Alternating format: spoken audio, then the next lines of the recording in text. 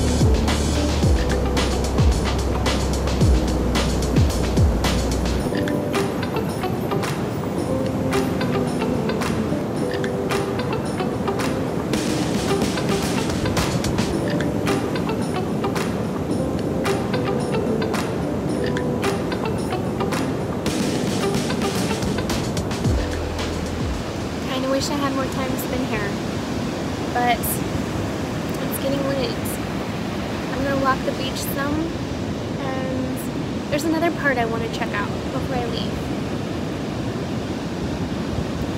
I wish I could stay for the sunset.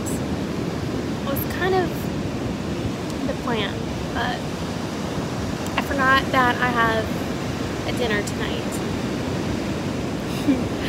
so uh, oh well. But that's okay. I had a great day so far. It was worth the trip.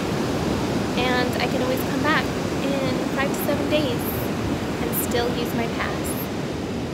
It costs $20 to come out here, in case you're wondering. So, I'll enjoy this while I can, and then I'll head home.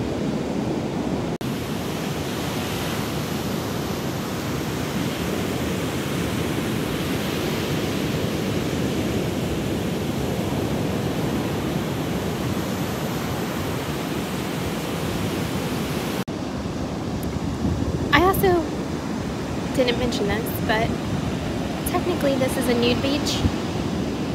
Um, it's designated as a nude beach. And there's signs up saying you might see, you know, nude sunbathers. I have not seen any. And I'm really happy about that. But there's a part of me that's kind of disappointed, as you can imagine. Um, odd paradox, but you know, it's probably for the best. I haven't seen anybody um, without clothes, honestly. Probably because it is kind of chilly. Time to walk the beach. I'm gonna look for something to commemorate my solo adventure. Usually do. I don't know what to pick though. Maybe this feather? Oh, it's sloppy. Um, I don't know. Hopefully I find something interesting.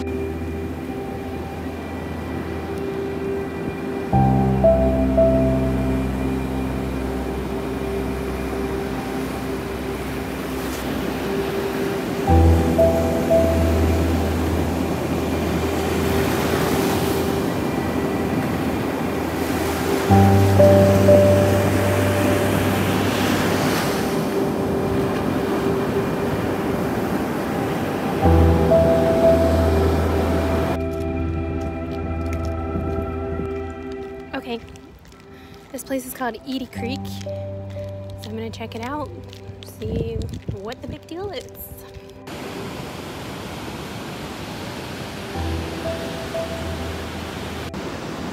Looks like it's just another beach access. Not that much different, but it does seem a little nicer with the sand and there's more open space. So it's probably just a popular place or more popular place than where I was. But it's not super busy. Some people, but it's pretty nice.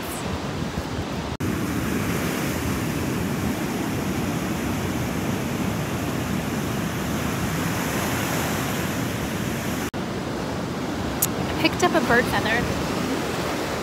Part of me is kind of grossed out by that. I don't know why. But I also kind of feel like this trip is very bird themed. So I should have something that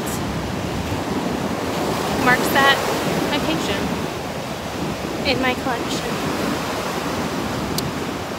I don't know. Seemed appropriate.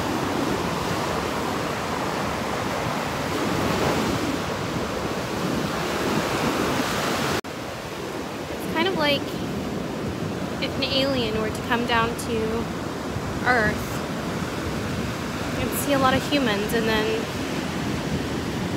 find a clump of hair on the ground and say, I think I'll keep this. You know?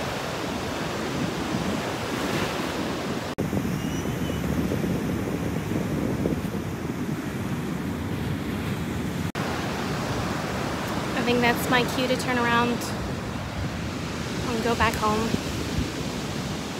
Very unfortunate. But that's life, I guess. A little bit of beauty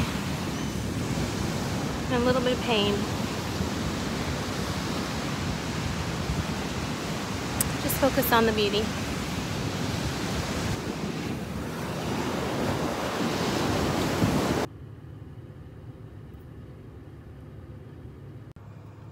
Well, that pretty much does it. Overall, I think it was a very good day. I did a lot. I got my independence. I successfully navigated myself out of uncertainty. Why do I say it like that? Uncertainty? It's like I enunciate everything. I made some friends. I got to see nature. It was beautiful. I got some sun on my legs. I picked up some souvenirs. I tried something new, some new food. And yeah, I had a great day. So I guess I'm gonna pass on the torch to you and challenge you to go out on your own and have a little solo adventure and see what happens. I think I may do this more often. Um, try something new, someplace I've never been. It's crazy I've never been to this place. At least, I don't think I have. Um, maybe my parents brought me here when I was little, but I'm not sure. I don't remember it. Um, but it's definitely new for me alone, on my own. Being on your own is like a whole different, it's a whole different vibe, you know? You kind of just go where your intuition sends you. I guess that's the theme of this this whole video. Follow your intuition. Just pick a day, pick a place, be somewhat prepared, somewhat um, mapped out, but don't don't be too rigid on your schedule or your agenda, and just see see where the wind takes you. That is so lame, Lisa. I mean, ugh, that is so lame, but you know what I mean. Just try it out. Do your own thing. Um, anyway, I'm gonna head home now. I'm about an hour away from home, which isn't that far. And that's why it shocks me that I've never been here. But, um, yeah. See you later.